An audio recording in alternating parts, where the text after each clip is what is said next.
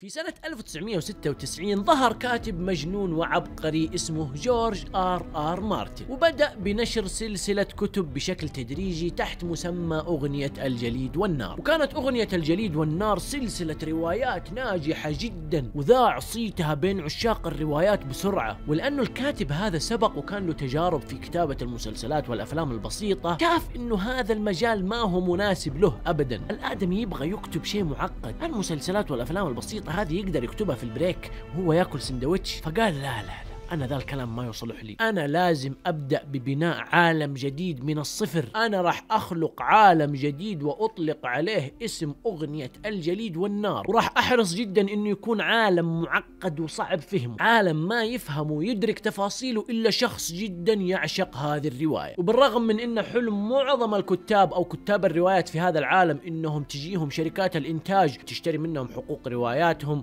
وتحولها إلى مسلسل أو فيلم مقابل ملايين الدولارات إلا إنه جورج مارتن كان يرفض هذه النقطة تماما. يا جماعة يقول لكم عرضت عليه ملايين وملايين الدولارات على مدار سنوات طويلة إنهم يحولوا جزء بسيط من هذه الرواية إلى فيلم أو مسلسل ولكن كان عنده حجة جدا واضحة. عالم أغنية الجليد والنار عالم جدا معقد وصعب جدا يتم تحويله إلى فيلم أو مسلسل. الموضوع مش بسيط. ومع مرور الوقت جاء الكتاب دان وديفيد واللي هم أصلا أصدقاء من أيام الجامعة وحاليا مجتمع الإنترنت وعالم المسلسلات والتلفزيون يسميهم الغبي. والأغبى أو Dumb and Dumber. المهم إنهم جو جلسوا مع جورج آر آر مارتن وقدروا يقنعوه إنهم يحولوا جزء بسيط من رواية أغنية الجليد والنار إلى مسلسل. في البداية قالوا له خلينا نسويها سلسلة أفلام زي Lord of the Rings وزي هاري بوتر وكل فيلم يكون مدته ثلاث ساعات وكذا ولكنه رفض. قال لهم لا العالم هذا جدا معقد وأنا أحتاج يكون فيه أكبر كمية من التفاصيل. قالوا له مو مشكلة بنسويه على شكل مسلسل وعلى عدة مواسم وعلى عدة سنوات. وبالفعل جورج مارتن ما قدر يقاوم فكرة إنه يشوف عالمه يتحول إلى نسخة حية ما قدر يقاوم فكرة إنه يشوف شخصياته تنبض بالحياة في شاشة التلفزيون. وعرضت أولى حلقات هذا المسلسل الرائع والعظيم على منصة HBO يوم 17 إبريل سنة 2011 ومن 2012 وإلى 2017 Game of Thrones يا جماعة كان محتل المركز الأول كأكثر مسلسل يتم قرصنته. بمعنى إنه كل الكرة الأرضية كانت تتابع هذا المسلسل بطريقة غير قانونية إلا من رحم ربي يعني. بل إنه واحدة من الحلقات في الموسم الأخير تسربت قبل يتم عرضها تم قرصنتها خلال 24 ساعة بواسطة 55 مليون شخص. يا ساتر! يا ساتر. كلنا نعرف جاك مؤدي شخصية جيفري براثيون. في البداية المسلسل ما كان مركز عليه كان يعطينا شوية تفاصيل إلى أن تم تعيينه كملك وبدأ إيش؟ المسلسل يسلط الضوء عليه وكذا يصير إنسان كريه وكل ما نكتشف قديش هذا الإنسان كريه. لما انتهى دوره في المسلسل وخلاص طلع وانتهى على خير وافتكينا من شره وصلته رسالة من الكاتب جورج آر مارتن شخصيا. يشكر ويثني فيها على أداء هذا الممثل لشخصية جوفري براثيون وكيف إنه قدمها مثل ما كان متوقع الكاتب ويمكن أكثر. شخصية كريهة حقيرة قذرة نرجسية ولا تطاق وسادية. وختم رسالته وقال له أداءك جدا جدا رائع لشخصية جوفري وأحب أقول لك ألف مبروك لأنه كل العالم صاروا يكرهوك بسبب أدائك الأسطوري لهذه الشخصية. حطوا ببالكم حاجة يا جماعة. إذا كرهت شخصية في مسلسل أو فيلم اعرف إنه اللي قدمها قدمها على أكمل وجه. عرف يدخل في قلبك وعاطفتك وعقلك وفي إذنك وفي كل مكان في أعضائك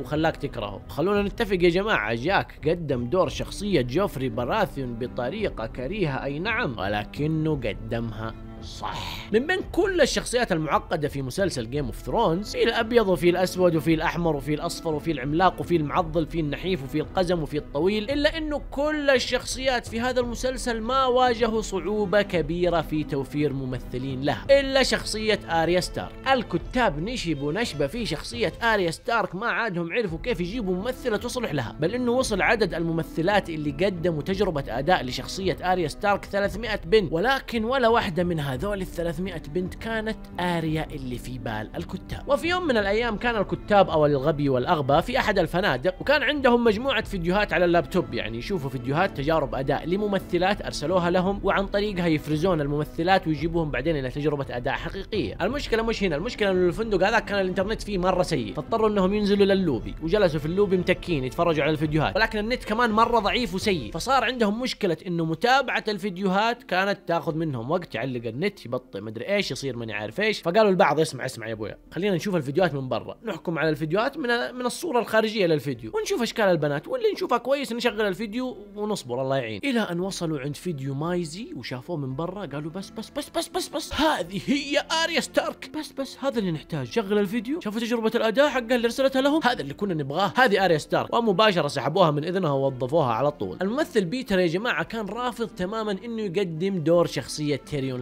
لانستر في مرحلة ما عرضوا عليه هذا الدور قال لهم لا ما أبغى يا أبوي. إيش اللي عالم خيالي وخرابيط وتنانين؟ يا يا أبوي مو جوي مو جوي. معليش يا جماعة إيش الكلام ده؟ فجلس الغبي والأغبى معاه وجلسوا يقنعوه ويقولوا له إنه شخصيتك جدا رهيبة ولها دور وأثر كبير في هذا المسلسل وهذا العالم. شخصية معقدة ولطيفة وطيبة وشريرة فيها كذا كمية مزيج من الأشياء تخليها واحدة من أفضل الشخصيات في المسلسل. فضلا عن إنه الشخصية مرة تحب النسوان والشراب والأشياء ذيك. والله بالفعل بعد الكلام هذا اقتنع. ماني عارف وش اللي اقنعه بالضبط من الكلام اللي قالوا له إياه بس واضح إنه إيش؟ شراب وبنات عجبتهم.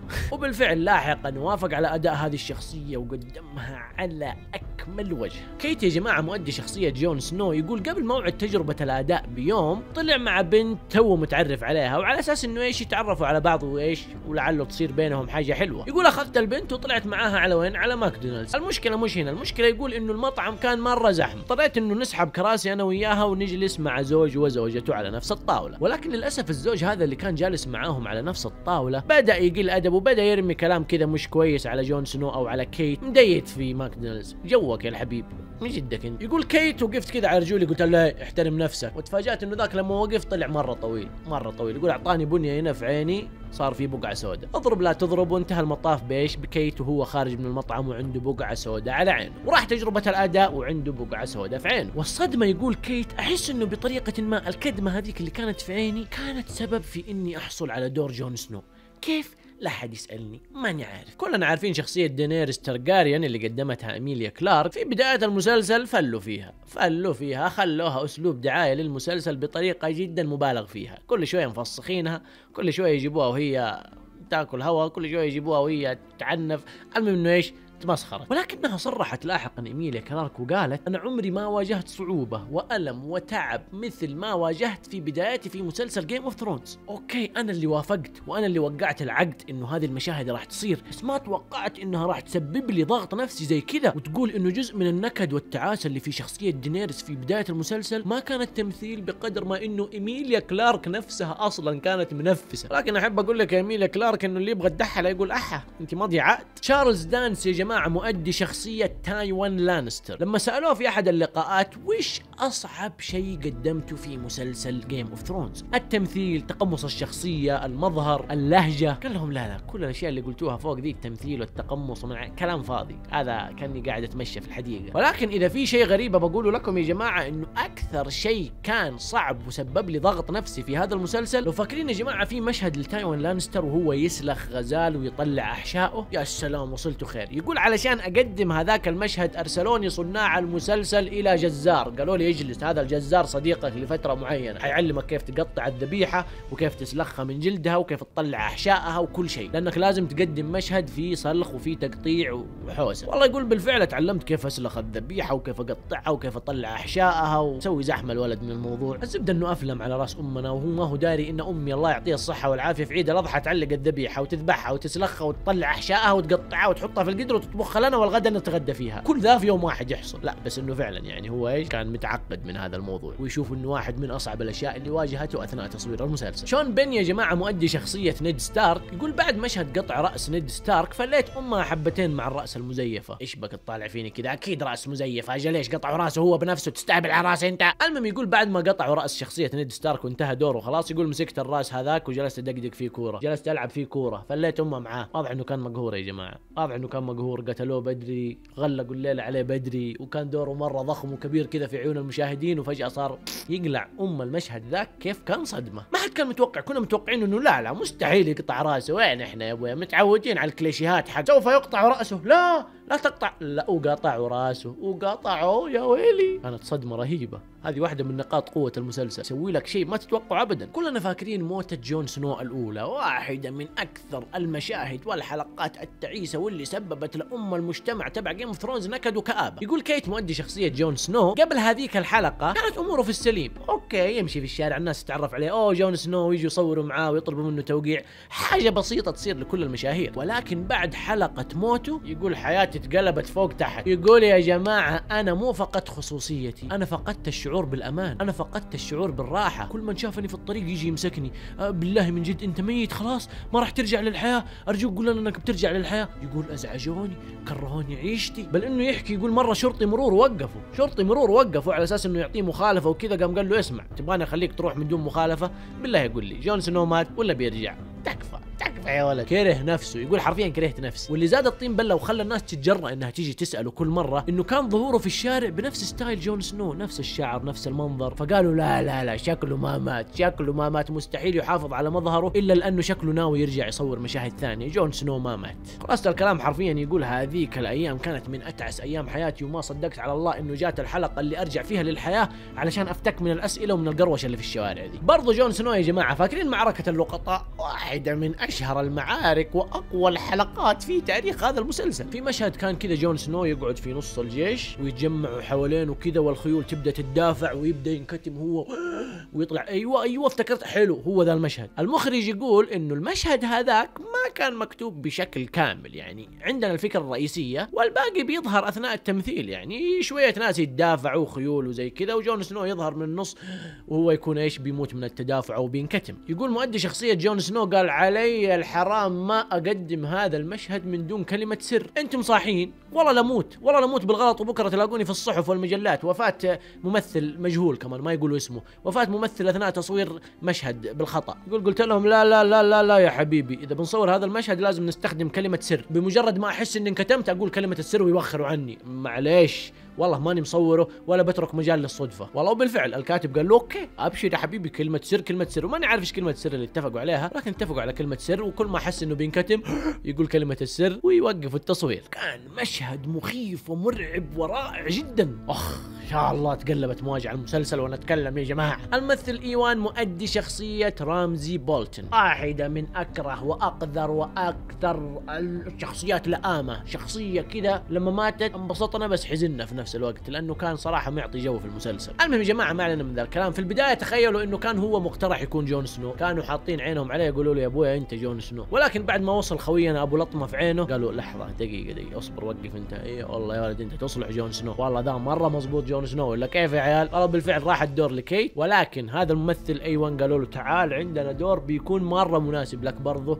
شخصية رامزي بولتن. في كلا الحالتين كان معروض إنه يكون ولد حرام. مش ولد حرام 100% ولكن على الأقل في أعين المجتمع. فاكرين هذاك المشهد لما سيرسي تخرج وتمشي عريانة كذا في ذيك المسيرة والناس يرموها بالزبايل والقمايم والقرف؟ يا سلام كلنا فاكرين مين ينسى هذاك المشهد اللي يكسر القلب ويبرد القلب كذا. تصادم مشاعر. المهم يا جماعة أحب أقول لكم إنه هذاك المشهد تم تصويره بواسطة ممثلة ثانية. yep ممثلة ثانية اسمها ريبيكا فان كليف. الممثلة لينا صورت مشاهد سيرسي وهي لابسة الهدوم وكل شيء تمام وسيرسي سيرسي. ولكن بمجرد ما تفسخ هدومها وتمشي عريانة هذه كانت ممثلة ثانية. صوروا المشهد كامل على نفس الممثلة وكل شيء وبعدين فريق المؤثرات البصرية ركبوا وجه الممثلة لينا ومشت الأمور وكل شيء كان ماشي عشرة على عشرة. معظم المسلسلات والافلام إيش يجيبوا كذا لغة هبد في هبد. شوية كلمات وحروف ركبها على بعض ويلا طبطب وليس يطلع كويس إلا لغة الدوثراكي. كانت فعلا لغة حقيقية تم ابتكارها وصناعتها من الصفر لأجل هذا المسلسل. بل إنه من كثر ما كانت هذه اللغة متكاملة وكان في ناس مجانين يبغوا يتعلموها في سنة 2014 أحد المعاهد بالتعاون مع مخترع هذه اللغة نسقوا دوره لتعليم لغة الدوثراكي. وسجل فيها عدد كبير من البشر يبغوا يتعلموا الدوثراكي. حاجة غريبة يا أخي. الكثير والكثير من سكان الكرة الأرضية وقعوا في غرام شخصيات هذا المسلسل لدرجة إنه في كمية هائله في بريطانيا وأمريكا. أثناء عرض المسلسل راحوا سموا أسماء أطفالهم على شخصيات هذا المسلسل. والكلام هذا مش من كيسي ولا من كيس المواقع اللي قاعد أجيب معلوماتي منها. المعلومات هذه موثقة من مستشفيات في أمريكا وفي بريطانيا وفي أوروبا. خلال فترة عرض المسلسل لاحظوا مجموعة كبيرة من المستشفيات في أوروبا وفي أمريكا وفي دول ثانية إنه في أطفال كثير يولدون في هذه المستشفيات وتعطى لهم أسماء من شخصيات Game of Thrones ومش بس البشر حتى الحيوانات. كان في حيوانات أليفة كثير تتسمى على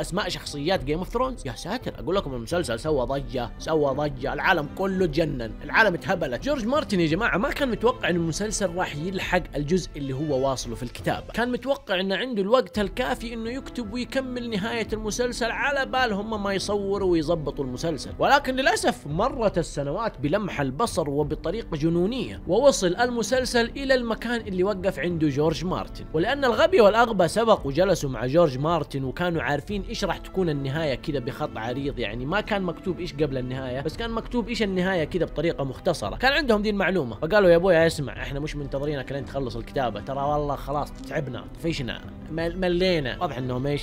ابتلشوا. عالم جدا معقد وصعب ما كان عندهم العشق والشغف اللازم إنهم يصبروا إلى أن تكتمل الرواية أو تكتمل كتابة هذا المسلسل بواسطة الكاتب الأصلي. فقالوا اسمع إحنا نعرف الكتابة وإحنا بيننا عقد وفي أمور قانونية فراح نكتب الموسم الأخير من كيسنا وحنظبط المظابيط ما عليك وراح نحافظ على النهاية اللي أنت كتبتها. okay يلا مع السلامة. وصارت حوسة وإشكاليات كثيرة بينهم وبين الكاتب وبين شركة الإنتاج صارت فوضى ذيك الأيام. وانكسر خاطره صراحة جورج آر مارتن مرة كان متضايق وطلع في أكثر من لقاء قال يا جماعة العالم هذا جدا معقد. أنا قلت لهم من البداية. ولو إنه كان عندهم الشغف الكافي ولو إنه كان عند الاثنين ذولي حب وولاء لرواية الجليد والنار كان صبروا. وكنا نقدر نمدد المسلسل إلى خمسة مواسم إضافية ولكن للأسف واضح إنهم طفشوا وتعبوا وما عندهم سالفة. مسلسل بدأ زي اللهب واستمر زي اللهب وقاتل وكافح وكل شيء وفي آخر